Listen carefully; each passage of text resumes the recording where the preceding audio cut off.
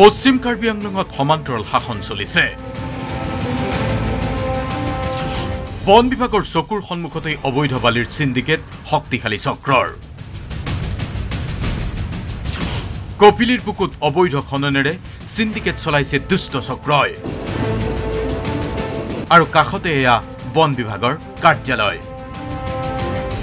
মাত্ৰ পাঁচশৰ পৰা ছশ মিটাৰ নিলগত থকা এই বন বিভাগৰ কাৰ্যালয়ে নেদেখে কপিলীৰ বুকুৰ অবৈধ খনন।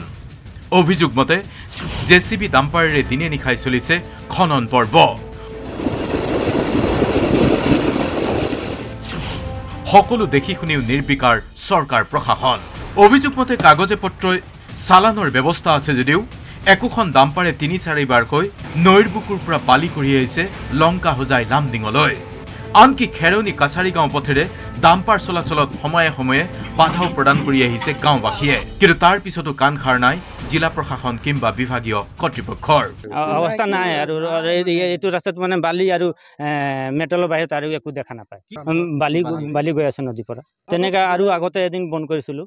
তেওঁলোকে কৈছিল যে ৰাস্তা ভাল কৰি দিম তাৰপিছতে আমি মালটো ট্ৰেক্টৰ দি লৈ যাম। উম, ট্ৰেক্টৰ দি লৈ যাম। কিন্তু তেওঁলোকে মানা নাই। এতিয়া এইটো বন্ধ হ'ব লাগে। ডাম্পৰটো চলিব নালাগে ইমানে আৰু। কাৰণ যে ৰাস্তা পাতলা আছে স্কুলৰ যোৱা অহা ল'ৰাহঁতক বহুত দিগদাৰ পায়। এতিয়া যদি সিহঁতে এক ছাইডত পৰা লগাই দিয়ে বেলেগ ছাইডততো জেগাই নাপায় যাবৰ কাৰণে। প্ৰশ্ন উঠে বালি মাফিয়াৰ প্ৰতি কিহৰ দৰত বন বিভাগৰ। একোখন চালানত তিনি চাৰিবাৰ বালি কঢ়িওৱাৰ অনুমতি কিয় দিছে বন বিভাগে?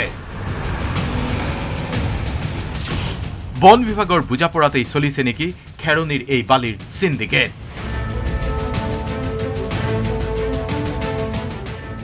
খেৰণিৰ পৰা Sanjay Kumar Singh D Y three six five.